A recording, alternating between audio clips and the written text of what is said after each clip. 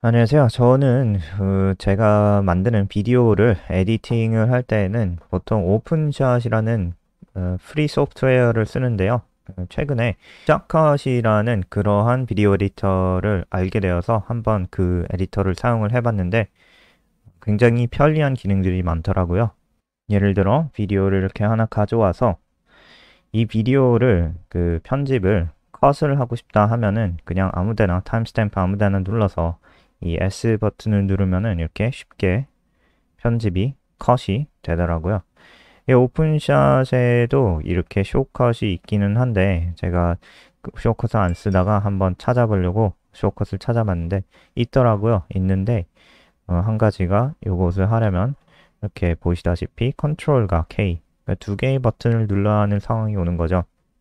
그래서 샷컷은 S만 누르면 이렇게 잘리는 아, 것에 비해서 이 오픈샷은 컨트롤 K를 키를 두 개를 눌러야 되는 그런 굉장한 어, 고충이 있습니다.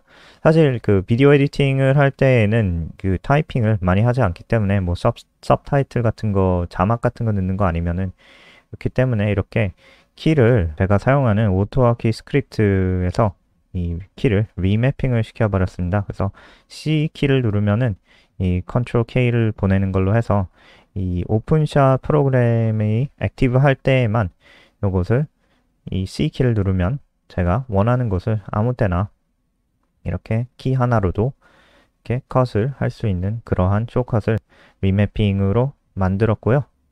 그리고 한 가지가 제가 그 한국어 tutorial 버전을 영상 제작을 할 때에는 영어 tutorial 버전에다가 더빙만 해요. 그래서 사운드를 다 없애고 그리고 더빙을 하는데 그 더빙을 할 때도 OBS 스튜디오라는 프로그램을 screen recorder인데 그것을 사용해서 하니까 이 아웃풋 파일이 비디오 파일로 되는데요. 그래서 비디오 파일을 import를 해서 오디오 오디오만 남겨두는 작업을 항상 하는데 이 작업은 이 비디오 클립을 오픈샷에서 오른쪽 클릭을 한 다음에 separate audio에서 single clip을 눌러야지 이렇게 separate이 되는데 샷컷에서는 그냥 이렇게 오디오 트랙을 하나 add를 해서 여기다가 이 비디오 파일을 drag and drop을 하면은 오디오로 변환이 되더라고요.